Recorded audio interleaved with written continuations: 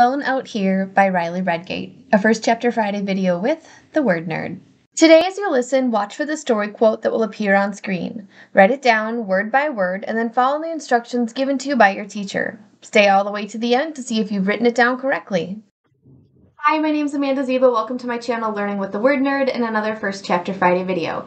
This week I'm going to be reading to you from Alone Out Here by Riley Redgate. Now most of the books on my channel are totally appropriate for all middle schoolers, but this one the publisher lists as ages 14 and up. So my 5th, 6th, and 7th graders, I need you to press pause, go back to the playlist, find a different one. If you're in 8th grade and older, let's carry on. Now, I first heard about this book from a presentation done by the CCBC. That's the Cooperative Children's Book Center.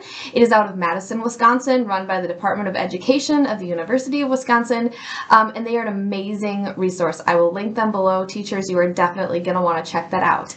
But as the presenter was talking about this book, I knew that I needed it immediately. So I ran to my local Barnes & Noble. I picked out a copy. John, it was the last one. You're going to want to order some more. Um, and devoured it. It is an intense story of both internal and external conflict. Um, and I know that once you pick it up, you are going to love it. Um, but it got me thinking you know, I heard about this book from the CCBC, and sometimes I find out about books by scrolling through Instagram or by browsing at a bookstore or because a friend tells me that I absolutely have to read a book. Um, so I'm curious, I'm going to leave the comments open on this video. Where do you find out about the books that you are going to read? Um, do you have some favorite websites or blogs or resources um, or that uh, book nerd friend that is always telling you what you read, need to read next? I'm, I'm curious how you find your stories. Um, maybe you have some suggestions for me. Um, so please put those in the comments below. There's one other thing that we need to do before I read you the blurb and the first chapter of Alone Out Here, and that is that I need to just celebrate for a little bit because, and I'm hoping you'll celebrate with me, because this video marks the 100th first chapter Friday video I have recorded for y'all on this channel, and that feels really exciting. 100 amazing stories by incredible storytellers and writers. Um, and when I started this channel, that was my goal, was to help you find great books, uh, to not just rely on, um, you know, the ones that are available on the shelf or the ones that uh, have been taught forever. Um, to share with you all of the goodness because we are living in a golden age of kidlit and um, I'm very passionate about getting those books into your hands. And um, hooray, we have done it. 100 videos. 100 stories and I am so excited. So yay, thank you for being here with me. Um, if this is one of the first videos that you have found me for, uh, know that there are a whole bunch more. There's an entire playlist uh, waiting for you. So yay, cheers. Done with that. Moving on to today's story. A Alone Out Here by Riley Redgate. This is what the blurb says. The year is 2072, so not that far in our future. Soon, a volcanic eruption will trigger catastrophic devastation, and the only way out is up. While the world's leaders, scientists, and engineers oversee the frantic production of a space fleet meant to save humankind, their children are brought in for a weekend of touring the Lazarus, a high-tech prototype spaceship. But when the apocalypse arrives months ahead of schedule, first daughter Leigh Chen and a handful of teens from the tour are the only ones to escape from the planet. This is the new world. A starship loaded with a catalog of human artifacts, a frozen menagerie of animal DNA, and 53 terrified survivors. From the panic arises a coalition of leaders, spearheaded by the pilot's enigmatic daughter, Ellie, who takes the wheel in their hunt for a habitable planet. But as isolation presses in, their uneasy peace begins to fracture. The struggle for control will mean the difference between survival and oblivion, and Leigh must decide whether to stand on the side of the mission or her own humanity. With aching poignancy and tense, heart in your mouth action, this enthralling saga will stay with readers long after the final page.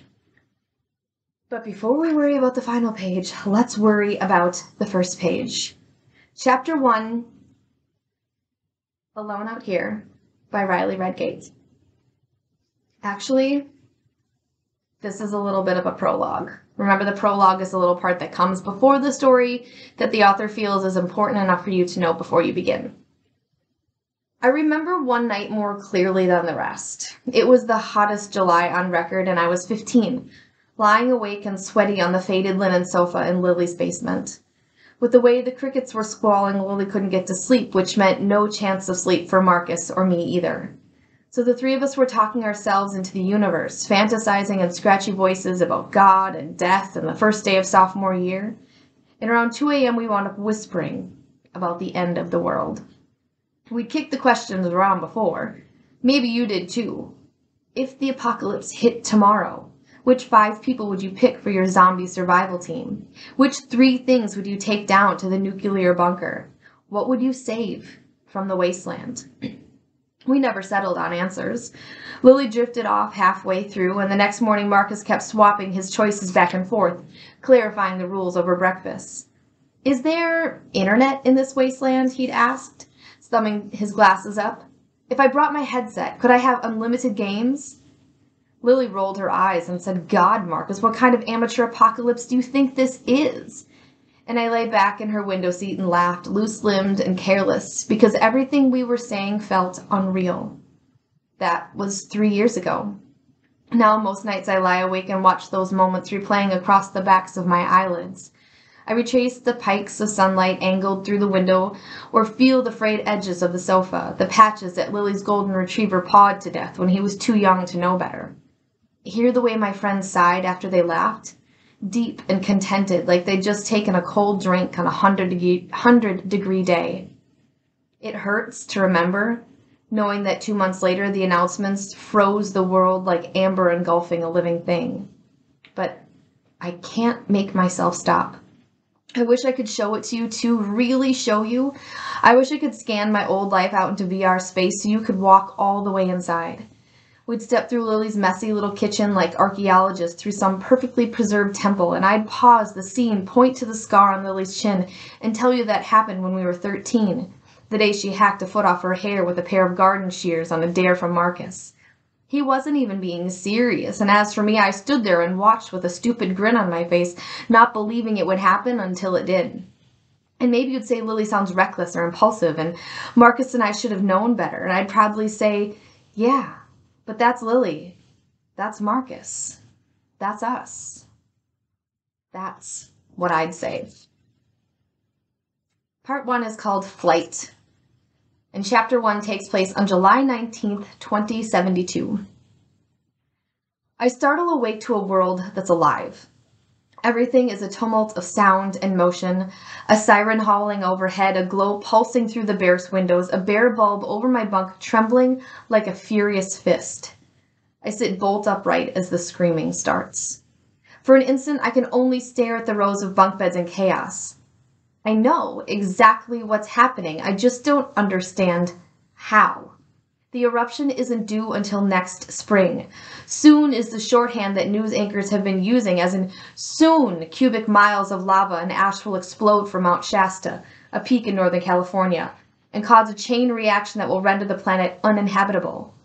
Since the announcements, we've watched the ground swell like an abscess and waited for the lands to drop, hoping and praying for more time. Now, I don't hope, and I don't pray.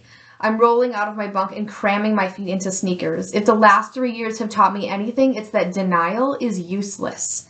Only the facts matter, and there's just one fact to cling to now the Lazarus. One of the generation spaceships that were meant to save millions of people is standing half a mile outside our barracks door. I seize my backpack from the floor, but the straps snug taut, caught beneath the bed frame. Move, I grunt, pulling harder. Come on, move! It isn't coming free. I need to open my hand and run. I know that, but protective panic is blazing up in me. The thought is that this is all I have. Someone lets loose a string of Arabic behind me, and a pair of hands heave the bed frame upward. The bag flies free. As I hug it tight to my chest, I cast a wild look around, but the speaker has already disappeared into the mayhem. I wrangle the bag onto my shoulder and sprint for the exit, darting between the shadowy, muscular bodies of soldiers. Warren and Jones, my Secret Service detail, passed me to these officers yesterday, six high ranking military officials assigned to safeguard our group. Last night on the way to the cafeteria, I heard them muttering mutinously to each other about babysitting. Now they're barking commands over the siren, trying to corral stricken 11 year olds into line. I join the cluster of people at the door just as a girl flings it open. She cries out, clapping her hands over her ears. In pours the sound, the undertow of rolling bass, the gut shaking drop of the earth tearing apart. Our cluster recoils, stunned by the roar and the sea of haze outside. Mount Shasta is a hundred miles away, but then that's nothing to this kind of explosion. 200 years ago, the Krakatoa eruption shattered eardrums 50 miles out. People 300 miles across the ocean heard sounds like gunfire. The last Yellowstone eruption dropped ash from Los Angeles to the Mississippi River. A high voice calls, Kimbini! A Kenyan president's daughter, Caro Omandi, darts through the crowd and over the threshold, small and nimble, her long braids cascading out of her black silk scarf. The spell is broken. The rest of us plunge after her into an oppressive heat as tangible as water. We hurtle across a concrete plain that glows dully under the stands of floodlights. Thick haze rolls through the light like cumulus clouds in rapid time lapse, shrouding most of the complex. The vehicle assembly building where the ship was constructed is a shadow in the distance, and the launch control complex, which looked yesterday like flecks of static fuzz breaking the horizon, is completely invisible. Only the Lazarus is clear, looming dead ahead. The ship is X-shaped and aerodynamically sharpened like the tip of a Phillips head screwdriver. Even half a mile away, the size of the thing is staggering. Booster rockets are bundled to its four wings at intervals, tall and sleek and alabaster white, and the whole apparatus sits astride a positronic impulse launcher. It's a hundred feet high. Most of that bulk will unbuckle during the liftoff and tumble down into the Pacific Ocean. As we run toward the launch pad, an unexpected calm closes around my head. Carol and the others diminish into splashes of color. Just another field of contestants in another race. I imagine lines spray painted on tufts of grass guiding me toward a clock, suspended at the finish line. As concrete scrapes beneath my sneakers, I feel the mile repeats I used to run in suffocating August heat, and the ache of an oncoming shin splints, and the cramps that dug like the forked tines beneath my ribs. All these painful tools that forged me into an instrument of survival. Then I'm leaving the group behind. I'm passing Caro. I'm speeding by a Thai girl who's pressing her glasses to her face. I'm overtaking a younger boy whose lips are quivering as if he's on the verge of terrified laughter. Lee used to laugh when she ran alongside me at the end of practice. She never had my endurance, but she could sprint like no one else. She'd cut halfway through the route and reappear at the end, challenging me, crowing as we flew toward the finish line. Is that the best you can do? I push harder until only one figure remains at my shoulder. Sergei Volkov, a sandy-haired Russian boy I recognized from our tour of the Lazarus. A head taller than me, he holds pace as we match kick for kick. Soon we're skidding to a stop at the base of an access tower. I pummel the elevator call button, my throat burning while Sergei stares back into the haze. The door opens and I dart inside, about to hit the button labeled Ship Access, but Sergei seizes me by the wrist and speaks urgently. The words are inaudible under the siren. What? I yell. He yells something back in Russian and points toward the dark figures growing out of the haze, then stretches out an arm to hold the doors open for them. I feel a shock of guilt and then do the same. We wait until two dozen kids have crammed themselves in, packing the elevator wall to wall. Then the mirrored doors glide shut, dulling the noise outside. Coughing follows. A flurry of hands brought to mouths. Everyone's eyes are rimmed pink and streaming from the haze, including Sergei's. But he nods to me, and I nod back, wiping my face clean, tying my hair up into its usual high ponytail. At last I have a second to think, but none of my thoughts are reassuring. Our barracks are a temporary building constructed miles nearer to the ship than any other. The launch control center is nine miles away. Any closer, and their delicate instruments would have shattered under the thunder of the Lazarus's engine tests. The crew's living quarters are even farther out. How quickly can they cross that distance versus how quickly will tectonic aftershocks ripple down the fault line of the California coast? How soon will the fresh ash fall thicken like blizzards versus how soon can we seal the doors? In the long term, the ash cloud by itself would have been survivable. The death knell is what scientists found when they probed beneath Mount Shasta possible quantities of methane that will blast out from the deep geological reserves, transforming our atmosphere forever. Three days from now, the outgassing will be complete. Within two weeks, Earth's cloud cover will have begun to expand, trapping in ever more water vapor and heat in a vicious cycle. And after a month, the air at half of Earth's latitudes will be unbreathable. Then, as the ice caps melt, the sea will climb to flood most major cities. In the coming decades, our oceans will boil away altogether until Earth resembles Venus a dry surfaced, 800 degree wasteland. Before 2069, hardly anybody knew the term for this process runaway greenhouse. Now it's one of those phrases you hear so often that it feels almost meaningless. Images of fires and floods war in my mind as the elevator rises at an agonizing crawl. A girl jammed in at my side is speaking in Arabic. Her voice is small and terrified. Soon she's hyperventilating, repeating a phrase again and again until it's a cry. Finally, she punches the wall of the elevator so hard that the car shivers. Half a dozen others yell at her, their languages mixed into in an unintelligible clot. Hey, hey, I touch the girl's back and she twists toward me. She looks maybe 13. Her dark eyes are enormous and she's breathing so hard that her lips are fluttering like paper. It's okay, I say, hoping she knows some English. We're nearly aboard. We just have to follow the launch process. I expect the girl to snap at me or maybe to burst into tears, but she hesitates instead, searching my face. I glance at my reflection in the elevator door and see what she does. I'm as straight backed and composed as my mother delivering a speech. My fear is invisible. What process? the girl says, still shaky. Some of the other kids are watching too, the ones who toured the launch control center yesterday instead of the Lazarus. Their group must not have gone over the procedure. I raise my voice. Passengers go up to the cabins and follow the instruction cards into the bedside tables. Just stay calm. The crew will be here soon. The words have hardly left my lips when the elevator door cranks open. We clatter out through the access arm, and at the end of the passageway, we have a stroke of luck. The hall door is already open. We at the uh, the hull door is already open. After crowding into the airlock, we find the secondary bay, bay doors open too. We step into the Lazarus. The ship is another universe, quiet, still, and dim. We've emerged in the atrium, the intersection of our the four wings the center of the ship's X.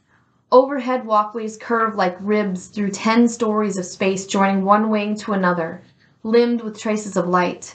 I wonder about the lights, why those recess spots are always glowing like eyes in the jungle.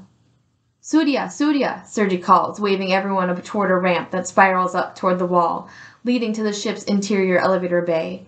I'm about to follow when my gaze snags on a Korean boy's profile. In the half light, shaggy black hair disheveled and glasses askew, he looks like Marcus. Right now, is the Cho family driving to the nearest bunker site? Marcus's sister watching the eruption on her phone while the fiery pictures flicker across Marcus's enhancement lenses? Is Lily flying around her bedroom snatching up mementos while Mrs. Dionzino yells for her to hurry? If my mother were here, she would take one look at me and say, Leigh, are you with us? It's a phrase she says brusquely, like a teacher checking in on a distracted student during class, but to me it's always been reassuring. I notice you're gone, she's saying. What can I do to bring you back? The thought of her wipes out every other thought, the way a dead bulb and a string of lights make the rest go dark. My parents are in Geneva for a summit of the Global Fleet Planning Commission, and there's nothing like a launch site anywhere in Europe. Besides the Lazarus, our prototype, every ship in the fleet is still half finished and the other kids and I traveled out to California to learn how ships would operate next year, like a field trip. We were supposed to be tourists here, not permanent residents. I shove my hand into my backpack, groping around for my watch and earpiece. I have to call my parents, Lily and Marcus too, before they're underground and out of range. I rip at Zipper's stretch elastic, but halfway through searching the front pocket, I lose my momentum because suddenly I remembered the watch's milky solar strip glinting half covered by the pillow where I stashed it last night for safekeeping. A high pitched noise builds in my throat. Safe keeping. I want to fling my bag across the atrium, but I can't move. Even if I were back there, even if I could call and they would answer, what would we say? What could we fit into this last shred of time? What could I possibly say that would be enough? Leigh! I startle back into myself. Sergei's at the top of the ramp, Caro at his side. He makes a frantic motion toward the elevators. I'll wait for the rest, I yell back, pointing toward the bay doors. Sergei balks, alarm crinkling his forehead, but Caro tugs him back into the elevator with the others. I turn to the gap in the hull, staring down the pale artery of the access arm, and tighten my ponytail until pain radiates across my scalp. My momentary loss of control has passed, and it won't happen again. For eight years, I've had to be the counterpoint to whatever is collapsing around me. After the Washington Monu- Monument bombing, bombings late in my mother's first term, when the whole country was screaming war, my parents trained me on a list of talking points so I could fend off any questions at school in a sober, level headed way.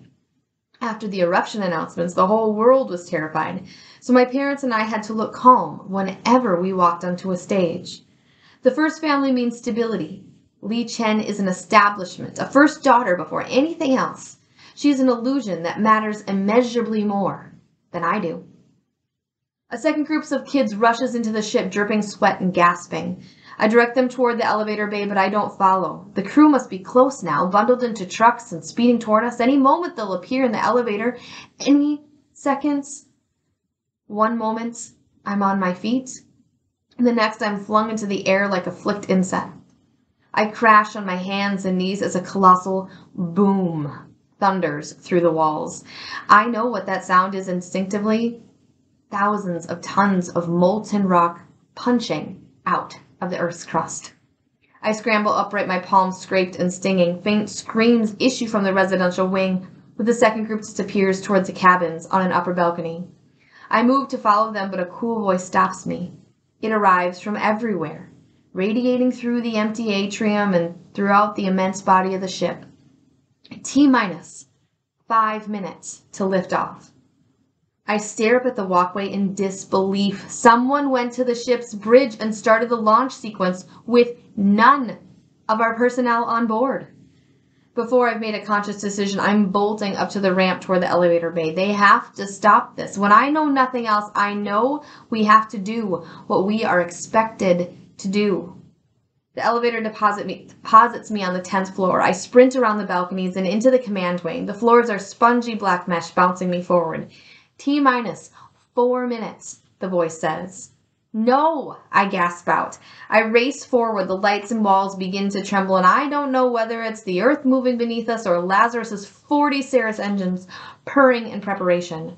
I wheel around a bend and flinch back, burying my hands in my face. The hallway ends in an open door to the bridge where a brilliant glow pierces the windshield, banks of floodlights glaring into the ship.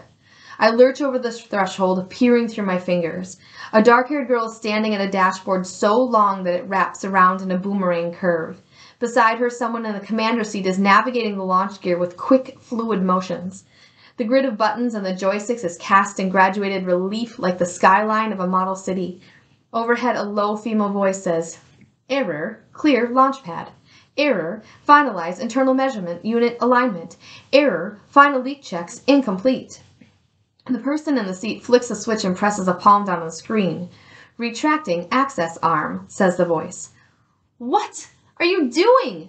My scream bursts out over the rumble of disturbed metal as the auxiliary power hums to life. Nobody's boarded yet! I clamber down the steps, hand outstretched to wrench the seated figure back, but then the chair revolves to face me, and I stop dead. The woman in the seat is as tall and broad shouldered as an Amazon, a frizz of honey blonde hair floating around her face. This is the Lazarus's head pilot, Commander Sarah Jefferson. Now I recognize the dark haired girl as her daughter, Ellie, who stood at the commander's shoulder yesterday like a lieutenant, eyeing our tour group with wary interest. They must have been here already when we came aboard. There why the doors were open, why the lights were on like a welcoming home's. Commander Jefferson scans me, sneakers to ponytail. If she recognizes me from the TV or the press, she makes no sign. She rounds back to the dashboard and says, We have people aboard, 54 of them. She points to a screen that shows live video of the hull door, which is now sealed shut. We've been counting. But the crew is still The crew knows we have to save who we can. The aftershocks are already starting. Every second on the ground is a risk we can't afford. Speechless, I watched the pilot's hands play over the controls. I thought the countdown was the work of some terrified kid throwing away hundreds of lives out of fear. This is different. A calculated risk assessment, a matter of protocol. But it feels just as brutal. Ellie, get her a suit. The commander aims a finger toward the bunk set into the wall. Then both of you, strap in. Ellie throws open a cabinet and tosses me a packet of white fabric. T minus two minutes, says a voice overhead as I tear the pressure suit out of the package. a hiss makes me glance over. Ellie has hit the vacuum seal on her suit, making its exoskeleton constrict her silhouette. As her visor slides into place, I meet my own eyes in the translucent mirror of its surface and see my face layered over hers. Suit up, Ellie says. She swings into a bunk and draws the straps into place, moving as efficiently as a dancer or a boxer. It all looks practiced, as if she knew, but of course she lives on this complex. For this girl, every waking second would have been colored by the fact that soon enough it would be time to go. The commander's voice blares over the PA and rings down the halls behind us. Attention passengers! Pressure suits are stored beneath your bunks. Put them on over your clothes. Press the vacuum seal at your left shoulder and strap in as shown by the instruction card at your bedside. The orders translate themselves into Mandarin, then Spanish, as the commander springs from her seat toward the last bunk. Halfway there, she goes still. She's paled to the color of the moon. Her lips move fractionally as the PA repeats her words in Hindi, French, Arabic, Swahili. She breaks for the exit. By the time she reaches the stairs, she's in a full out sprint. Mom? Ellie yells after her, but the commander has already reached the bridge's upper level. She's flying down the hall, a splash of golden hair disappearing. The voice overhead says, T minus one minute. I look down at my pressure suit, knowing it's time to strap in. I have my orders. But faces are flashing through my mind the younger kids paralyzed with fear, clinging to their bunks, and the soldiers trying to urge them forward. The engineers and technicians and astronauts on their way, knowing that we're about to abandon them. I could force the ship to wait. After years of wishing I could do anything to help anyone, I could do this one thing. The pressure suit falls from my hands and I go for the dashboard. Hey! Ellie says, Stop! I hear her struggling against her harness, bucking against the straps like a restrained animal. The belts are locked. Get away from that, she yells. What are you doing? Truthfully, I have no idea. My fingers skim grids of buttons that clatter gently in their frames. There are hundreds upon hundreds acronyms printed on every surface. And heading that and headings that reads pill separation has dozens of keys grouped beneath it. Divided into inscrutable combinations of letters and numbers, I scan them, hunting for the kill switch. As the voice says 30, my eyes land on the screen where the commander was typing. The launcher sequence is playing through its final checks. Vent valves locked, it reads. Position shuttling fields active. Orbital frame aligned. And there, in the corner, above a list of override codes, is a button, pulsing red. Abort launch? I lunge for the screen, but with my finger an inch away, I freeze. Commander Jefferson is the professional. She's right about the risks. What if I press the button? A tremor rocks the ship and the launch pad slips askew, and we die along with everyone outside. The red words blink, tantalizing me. What should I do? What do I think is right? I can't remember the last time it mattered what I thought. I feel utterly and terrifyingly free. T minus 10, says the voice. Nine. Eight. The ship's engines roar to life. My mind becomes a circus of hysterical thought, a whirl of no, no, please wait, not yet, not now, give me more time. Not even all the time I want, not even measured in years, not even enough time to say goodbye, just enough to answer the questions knifing through me. Is it better to stay or go? To risk it all or run for your life? Is it better to live knowing what you've done or die knowing what you are? Seven, six, five, the voice says, calm and sweet. Whoever recorded it was smiling, I think. The deep tissue roar in the air swells, and as the metal ca- metal casings over the windshield ease toward each other, I look up, shivers skating across my body. Fingers still suspended over the kill switch. Through the haze, a fiery light is shattering the horizon, and I think of a sun bursting out from our core. I think of a spirit erupting from a body at the moment of death. this can't be true, I think uselessly. It can't be real because only hours ago before I fell asleep, the moon was gazing through the barracks window. The real world is that stillness, that held breath of anticipation, not this. This panic, this mess of smoke. Maybe this is just another nightmare in the same genre as the last three years of nightmares, and at the end of the countdown, my eyes will snap open and I'll breathe heavily for a minute before rolling out of bed wanting water. I look down to see a blank screen beneath my fingertip. Four, says the voice. Three, two, one. Pressure lands on the crown of my head like an anvil. This is not a dream. I topple into the commander's seat and it locks backward into a horizontal takeoff position. Spots explode in my vision as millions of pounds of machinery blast off. We move slowly at first and then accelerate mercilessly, gravity compounding on my skull, my throat, my wrists, pulling down at the soft tissue of my eyes. I begin to slip out of consciousness, choking, my body pinned and trembling like prey. And I feel ashamed, naive, for expecting myself to wake up. The old true world has evaporated the way old truths all do. People used to think the moon was fixed in a crystalline sphere. People used to believe Earth would last forever.